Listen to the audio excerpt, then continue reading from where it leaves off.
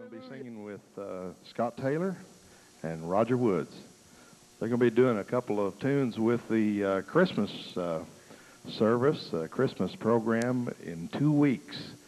Uh, if you haven't noticed that in the bulletin, well, it's two weeks from last night and then two weeks from 3 o'clock this afternoon. So by this time, two weeks, it'll be history, right? Uh, anyway, uh, they're going to be singing in that, and uh, we want to do a quick mic check here. Yeah, uh, if you don't mind, just a quick mic check. Please make mine a little louder than Roger's, if you don't mind. Testing one, two, three. Roger, say something. Testing one, two, three. no, don't do that. That's all you get. Testing one, two, three. Hey, One, two. One, two. Hit a little more, Roger a little less, and I'll take off. One, two. One, two. One, One, two. two. We'll teach him the rest later. I got, I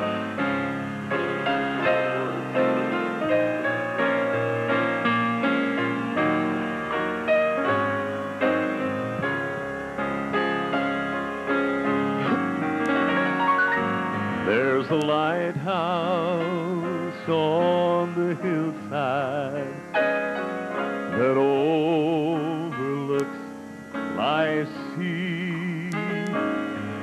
When I'm tossed, it sends out a light that I might clearly see. And the light that shines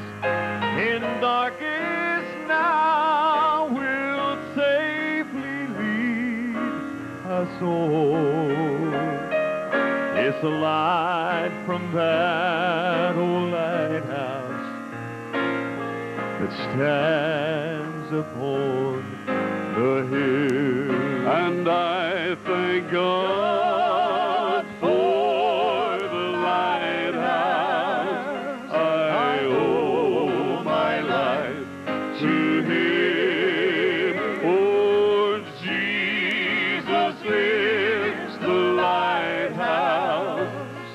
and from the rocks of sin He has shown His light around me, so that I might clearly see.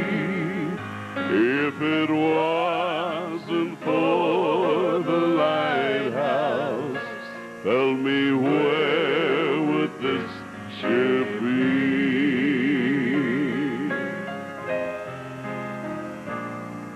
Everybody who lives around us says tear the lighthouse down.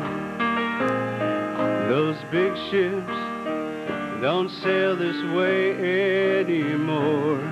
There's no use of it standing round. Then my mind goes back to that stormy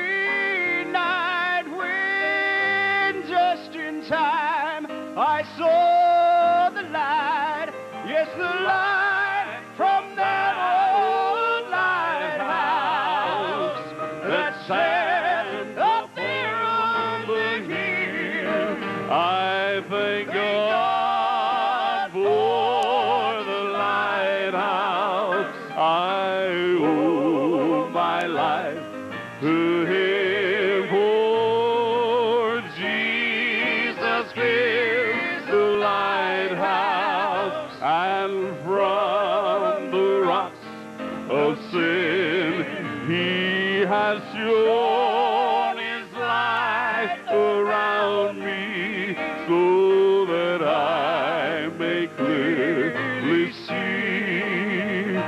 If it wasn't for the lighthouse, tell me where would this ship be? Sing it again. I thank God for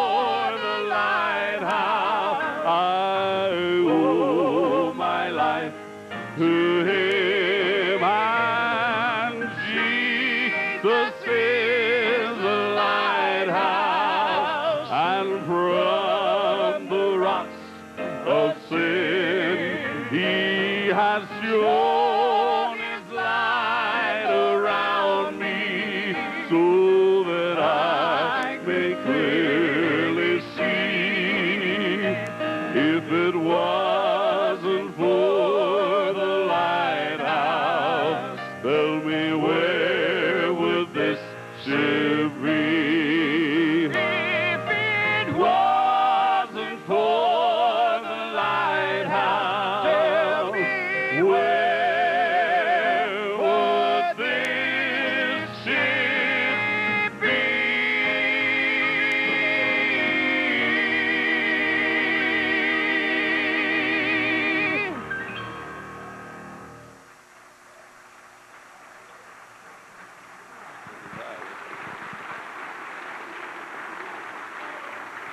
Praise God.